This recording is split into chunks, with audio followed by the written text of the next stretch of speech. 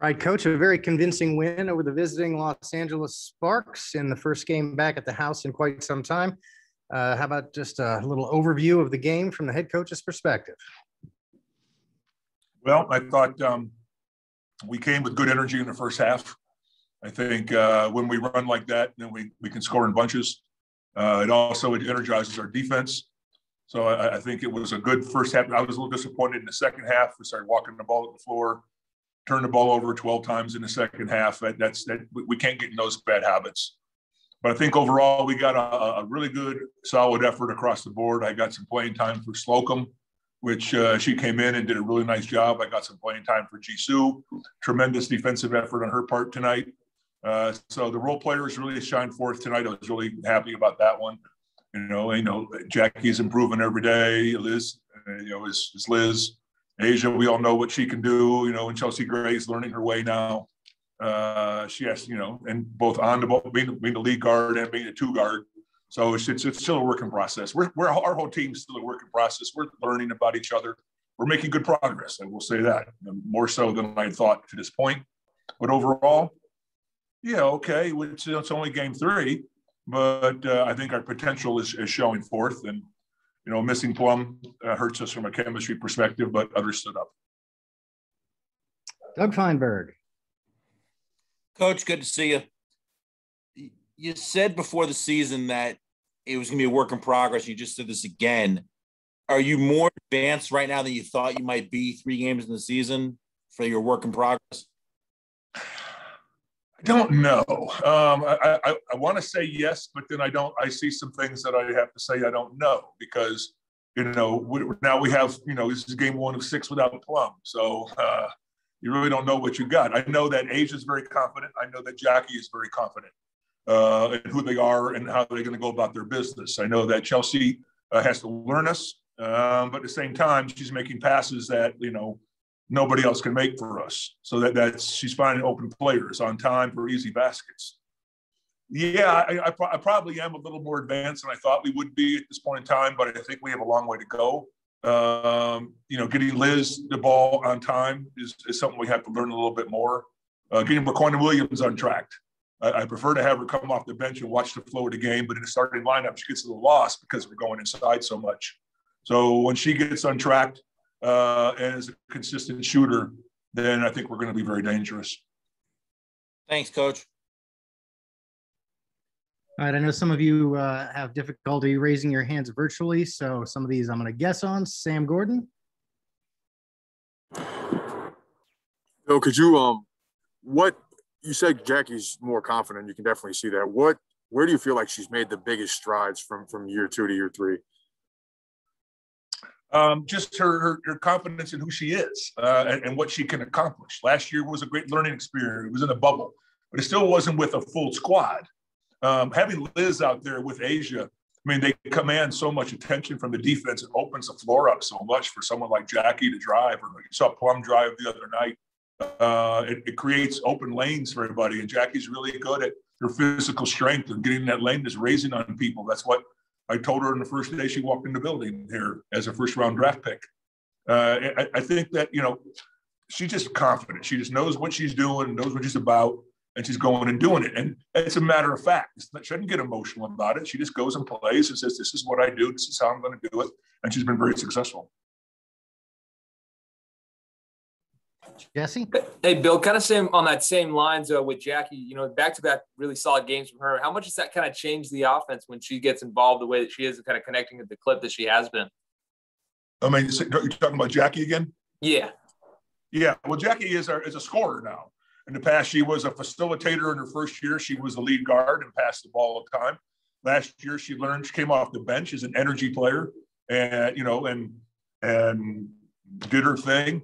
Uh, this year, you know, it, you never want to see somebody get hurt. You know, we feel really bad for Angel, and we really could use Angel, but you know, sometimes it opens up stuff for their players.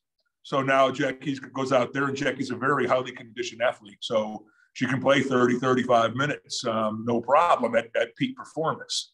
So it really gave her the opening to really show everybody in this in this world, in this league, who she is and what she's capable of doing, and she's taken advantage of it.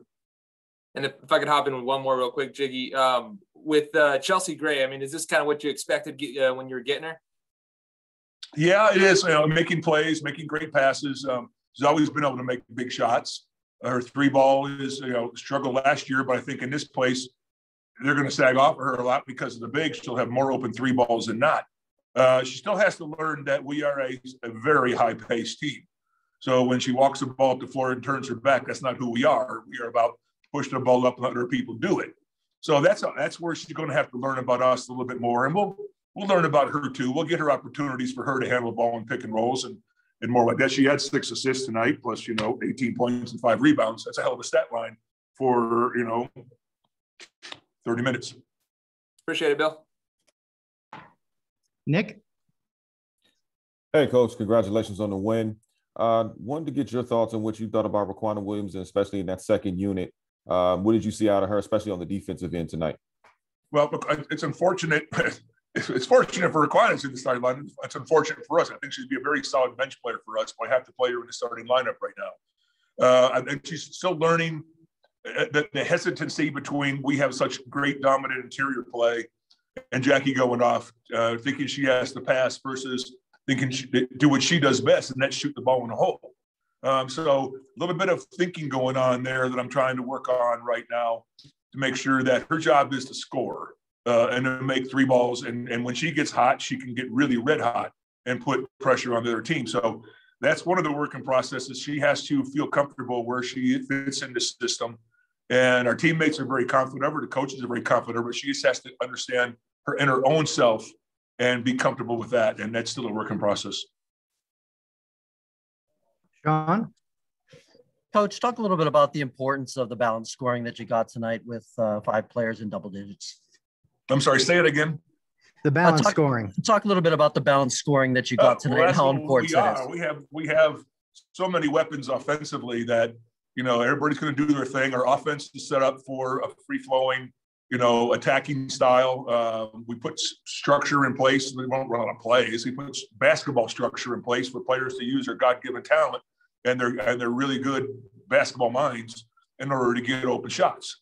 Um, the best part about us is you know you can't set your defense for any one player because we have other players. So you know you, you normally Liz would be double and triple teamed all the time and, and sagged off of you can't enter the ball. They can't do that with us. Got A'ja Wilson there and Jackie Young and Chelsea Gray and Brandon Williams and Kelsey Plum. So it opens the entire floor for a myriad of other opportunities for all the players. And we talked about when it's you, do it and be efficient about it. Uh, and I think that's what so far we're finding. The first game was a, a, throwaway. We didn't know what the hell we were doing. But the last two games have been very efficient, shooting over 50%. If we do that, we're damn hard to beat. All right. Last question for Coach Laimbeer Cole. Hey, Coach, I know you hit on this a little bit earlier, but it seemed like after every miss or after every turnover that you guys forced, you guys were really pushing the ball in transition, looking for some early offense. Is that something that's just part of your team's DNA and that's part of the game plan? That's who we are. Uh, we want to push the ball. We want to score. Uh, it's it's it's it's couple fold. One is you know we we have great bigs that can run, uh, and so when your bigs can run like that and get down the floor and the guards push the ball, the defense can't get set. So you can attack on the inside before anybody can get to you in double teams or, or, or shrinkage of, of the floor that's a big positive for us. Also, you know, we can get easy layups because we have Chelsea Gray finding people, Jackie Young finding people, or Jackie Young attacking. Uh, so pushing the ball. And also, the better part about it is when you have a lot of great players, you know, and everybody wants to score and everybody wants to have maintain their status, so to speak. And the youngsters want to get enhance their status. The veterans want to keep their status.